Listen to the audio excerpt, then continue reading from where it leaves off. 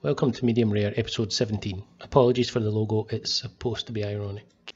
This episode is called Extrude Me is this title taken.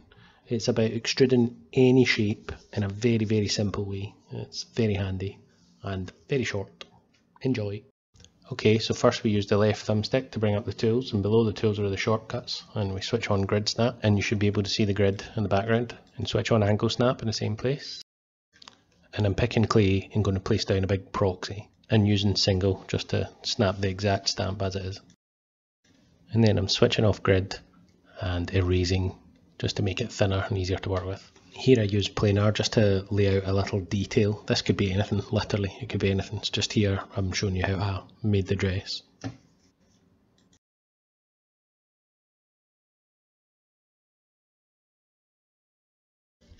Unfortunately I didn't cut through far enough there so I have to remove the back end so that we can see straight through. And this is going to do for demonstration purposes. And here's the magic of move tool again.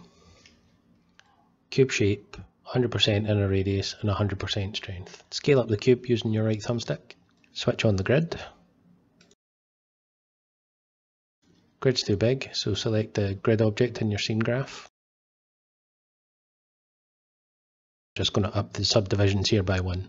That should be enough. I'm going to change my angle here so that I can see as the cube scales up whether or not it's actually covering the tool piece. And then grab and pull. and a wee bit more. And that is it. Okay folks, that's it. Thanks for watching. If you found it at all useful, like and subscribe, and I'll see you next time.